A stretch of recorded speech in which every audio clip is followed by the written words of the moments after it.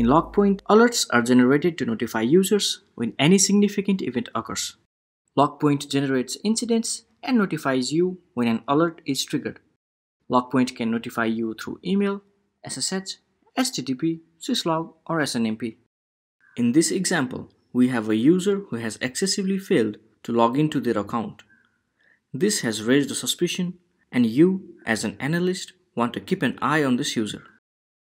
Let's create an alert rule such that if this user fails to authenticate for more than 5 times, an incident is generated. Let's go to Settings, Knowledge Base, Alert Rules, click Add, enter a name, enter the query, let's select the repo, let's set the time range of the query, let's set the search interval to 2 minutes.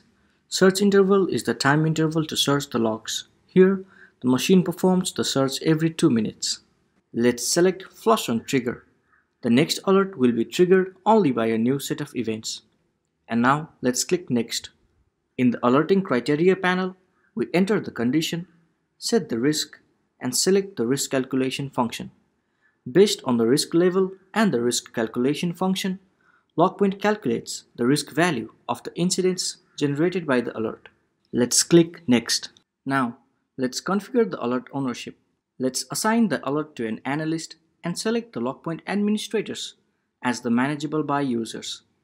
Both the assigned to and manageable by users can reassign, comment, and view the data of the incident.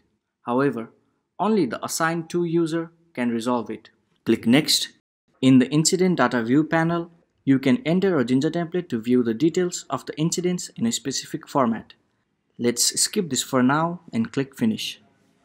Let's click Yes in the confirmation panel and select Email Notification. Let's select Notify via email, enter the analyst's email, enter a subject.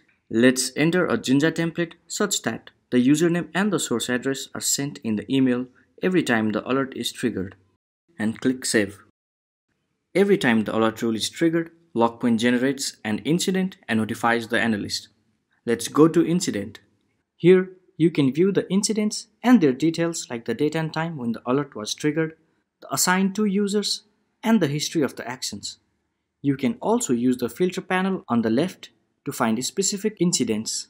For each incident, you can resolve the incident, add a comment, view the raw data, which are the logs that trigger the incident, or view the incident data, which is the data of the incident in the format specified in the Incident Data View panel while creating the alert rule.